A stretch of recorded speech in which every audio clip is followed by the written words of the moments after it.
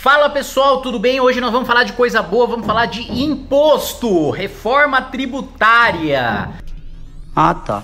Reforma enviada pelo governo, né? Lembrando vocês que o governo tinha prometido mandar a reforma tributária no ano passado, não mandou a reforma no ano passado, assim como não mandou a administrativa. Disse que ia mandar esse ano, nesse ano não mandou a reforma administrativa, disse que vai mandar no ano que vem, no final vai mandar no dia de São Nunca. E a reforma tributária, que era para ter sido mandada no ano passado pra gente aprovar no primeiro semestre desse ano, o governo só mandou agora um terço de reforma, porque disse que dividiu em três e mandou a parte supostamente mais polêmica agora, em primeiro lugar. E a gente vai comentar um pouco aqui nesse vídeo sobre como essa proposta enviada pelo governo prejudica instituições de caridade, prejudica instituições filantrópicas, prejudica santas casas, prejudica instituições que tomam conta de animais de rua, prejudica instituições, é, orfanatos, prejudica também instituições que fazem trabalho com idosos, com pessoas carentes, enfim, instituições de caridade no geral tem um aumento de tributação absurdo em cima dessas, de tributação federal. E também, uma coisa que parece que não tem nada a ver, mas está relacionado também, cachaça pinga, cerveja, você que gosta de beber aquela cervejinha também vai ser diretamente afetado por essa nova tributação federal. E também você que fuma tabaco, né, cigarro, tá lá fumando seu cigarrinho. Mary, Mary, também vai ser diretamente afetado. Aliás, tem um problema grave que precisa ser solucionado e que com essa tributação do governo vai ficar ainda pior. Mas muito bem, antes disso, eu peço que você se inscreva aí no canal, clica no sininho para receber as notificações, compartilha esse vídeo com seus amigos. Seu amigo faz trabalho voluntário, como eu já fiz, já fui, fiz parte do Interact, né? Juventude ali do Rotary, é, batendo palma ali na casa do vizinho para conseguir é, comida, conseguir medicamento, para entregar né, em asilos, jogava bola lá com a molecada no orfanato, entregava ovo de Páscoa, abraçava o pessoal, trazia amor, carinho, né? Dava, trazia um pouco de, de família, no sentimento de família ali para aquelas crianças que tanto precisam. Enfim, tem um amigo que faz esse tipo de trabalho, marca, porque esse vídeo interessa diretamente ele. Ou então você tem um amigo que é cachaceiro, não faz trabalho voluntário nenhum, é o dia inteiro na cana, né? Pega, chega 5 horas da tarde, já tá no bar, você já fala, esse é um vagabundo que tá lá o dia inteiro bebendo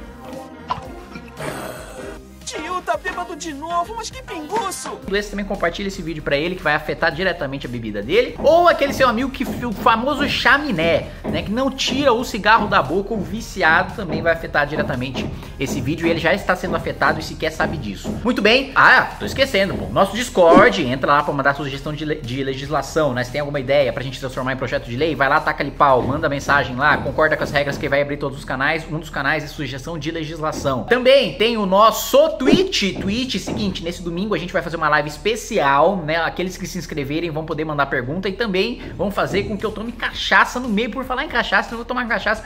No meio da live vai ser um gole, uma resposta, um gole, uma resposta, um gole, uma resposta. A gente vai tacar ali pau lá, uma conversa descontraída de, de boteco ali domingo com vocês, à tarde. Também no nosso LinkedIn. Você que quer informações mais técnicas sobre o mandato, quer acompanhar, vai estar tá aí o LinkedIn para você acompanhar. Muito bem. Tributação enviada pelo governo, a reforma tributária enviada pelo governo, passa uma tributação média hoje das instituições de caridade, das instituições filantrópicas, de em média 4% para 12%, né? Ou seja, está triplicando a tributação em cima de instituições de caridade, que na minha avaliação sequer deveriam pagar tributo nenhum, né? Pelo amor de Deus, você está fazendo uma caridade, está fazendo um trabalho voluntário, você está suprindo uma necessidade em que o Estado não agiu ou foi ineficiente ineficiente, ou foi incompetente, ou foi omisso em suprir aquela necessidade de fazer uma assistência para moradores de rua, para órfãos, para idosos, né? Ah, muitas vezes essas instituições de caridade, Santa Casa, quem não conhece Santa, Santa Casa, todo lugar tem Santa Casa fazendo um trabalho competente, fazendo um trabalho sério, e o governo vai lá e ainda mete a mão num, pedaço daquilo que é doado, né? Que, que é, tudo é fruto de doação naquele trabalho voluntário. Então o governo quer tripli, triplicar, o governo federal quer triplicar a tributação federal em cima das instituições de caridade em cima das instituições filantrópicas, né? Uh, mais do que isso, você que bebe ou que tem um cigarrinho, eu não sei que diabo de liberal da escola de Chicago é o Paulo Guedes que não viu nenhuma aula de Milton Friedman. Milton Friedman sempre colocou que a consequência de leis para tentar proteger o país da concorrência externa ou sobretaxa, tributação para desincentivar o consumo de determinado produto é apenas um incentivo para o crime, é você fortalecer o crime organizado. A gente aprendeu isso com a lei seca nos Estados Unidos que não adiantou absolutamente nada. Quem bebeu continuou bebendo, sendo legal ou sendo ilegal, porque não era um comportamento considerado reprovável pela sociedade. Foi proibido por legislação. Meia dúzia de burocratas achavam que era melhor que a população não bebesse, decidiram isso, é, é, impor isso goela abaixo. Não deu certo, que acabou no final de contas gerando Al Capone, um dos maiores mafiosos, um dos maiores criminosos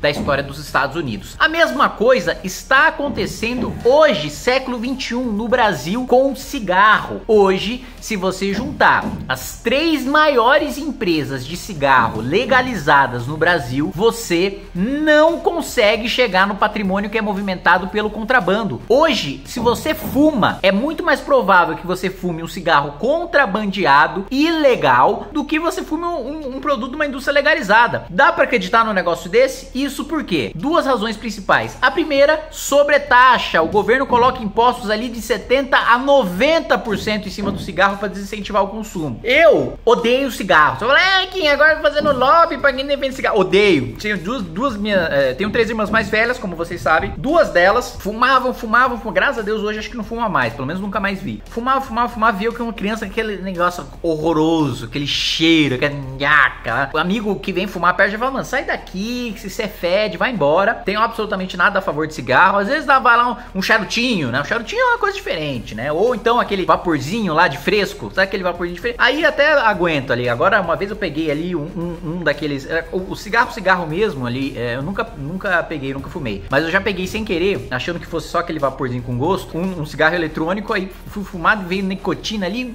horroroso. Enfim, tudo isso para dizer o seguinte: não adianta taxar em 70 ou 90%, o que você gera é contrabando. E isso, Milton Friedman tem uma aula específica sobre isso, que é sobre as Corn Laws, né, da, da, da Grã-Bretanha. Que ele dizia que é o seguinte: a, a Grã-Bretanha, a Inglaterra, era conhecida por ser uma nação de corruptos, de servidores públicos desonestos, de contrabandistas. E isso por quê? Porque para fazer qualquer coisa, qualquer empreendimento, você precisava de uma licença do governo para daí conseguir fazer o empreendimento. E já que todo mundo precisava dessa licença, entupia o, o birô do governo de pedidos de licença e você subornava os funcionários públicos para conseguir passar sua licença e conseguir exercer o seu negócio. Havia um incentivo claro econômico para você corromper o servidor público. Não era mal visto na Inglaterra o servidor público que se corrompia ou o empresário que pagava propina. Por quê? Porque todo mundo sabia que era assim que funcionava. Ninguém é, é contra você abrir o seu negócio e querer pagar mais para o seu negócio sair mais rápido. Então ninguém via como, como um problema isso. Um dos fundamentos da lei, uma coisa que muito legislador esquece,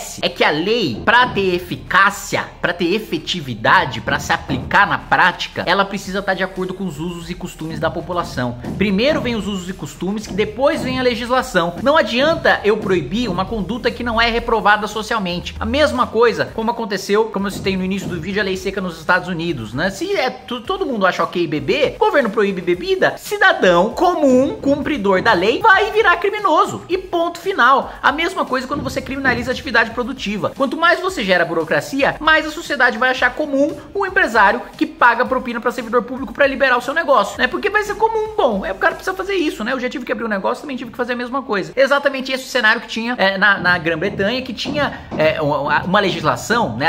As leis dos cereais, que era uma legislação para impedir que entrassem grãos de outros países, cereais de outros países, dentro da Inglaterra. O que que aconteceu? Para é, é, superar essa barreira comercial, superar a sobretaxa, os ingleses simplesmente contrabandeavam cereais. Não adiantou absolutamente nada. Você destruiu a indústria nacional e fez com que os cereais viessem. Como é que a Inglaterra passou a ser uma terra em que os funcionários públicos eram respeitados e uma terra de do rule of law, né, do império da lei, em que a lei era cumprida, né, e não só escrita? Quando você teve uma política de laissez-faire, né, quando você teve uma política de livre mercado, você derrubou todas as barreiras comerciais, derrubou toda a burocracia para ter empreendimentos, logo ninguém subornava o servidor público. Por quê? Porque todo mundo ficou honesto do dia para noite, porque o servidor público parou de aceitar o suborno? Não, porque não havia mais por que subornar. Não tinha incentivo econômico. Moralmente era visto como uma coisa errada, porque se você subornava é porque você queria uma vantagem, um privilégio em cima dos outros. E não porque você simplesmente queria uma, uma, uma permissão para trabalhar. Exatamente isso acontece com o cigarro no Brasil. Hoje, o primeiro comando da capital, para citar um, um um estado de exemplo. No estado do Ceará, domina 70% do mercado. No estado de São Paulo, o governo deixa de arrecadar um bilhão de ICMS por ano por causa do contrabando, muitas vezes instru instrumentalizado pelo PCC. E ninguém vai achar errado contrabandear. Ah, pô, o que aconteceu? Você já foi preso? Putz, o cara já foi preso tal. Mas o que, que você fez?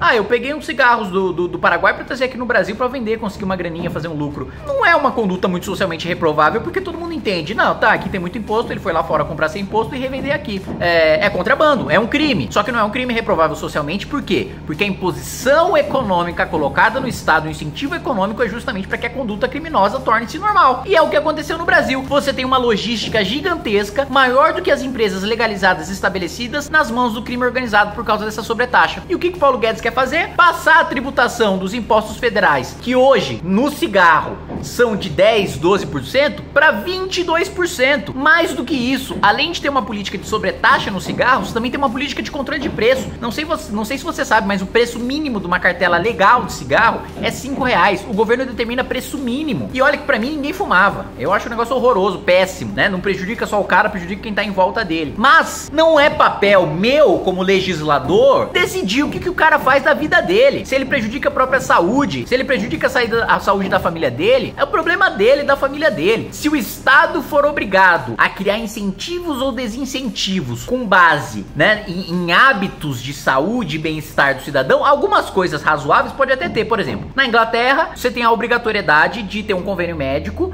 e uma obrigatoriedade de ter uma consulta, um check-up todos os anos. É uma maneira de fazer um contencioso para diminuir os custos com a saúde, não a saúde pública, né? É, porque lá não tem saúde pública, não tem SUS, mas você tem um programa, uma rede mínima de assistência social. Quem não tem dinheiro para pagar um convênio privado, o governo paga. O convênio é privado, a assistência é privada, a, o médico é privado, a enfermeira é privada, o hospital é privado. Mas o dinheiro para financiar os mais pobres, o convênio dos mais pobres é público. E por essa natureza pública desse financiamento, o governo obriga todo mundo a fazer um check-up uma vez por ano. Ok, é uma coisa ok, razoável. Agora, se a gente passar por controle de comportamentos individuais das pessoas, como por exemplo, eu já consegui felizmente barrar. Romário queria aumentar a tributação dos refrigerantes para diminuir o consumo. O que, que ia acontecer? Eu que tenho dinheiro ia continuar bebendo Coca-Cola do mesmo jeito. O mais pobre ia passar por uma marca mais barata. Ou ia incentivar o contrabando. E ninguém ia incentivar coisa nenhuma. Ele só ia destruir milhares de empregos legalizados, fomentar comércio irregular, comércio, inform comércio informal, comércio ilegal e, e vida que segue. Não ia ser desincentivado coisa nenhuma. Educação, conscientização é a melhor maneira de fazer a pessoa mudar o comportamento. Não é controle de preço, não é sobre taxa.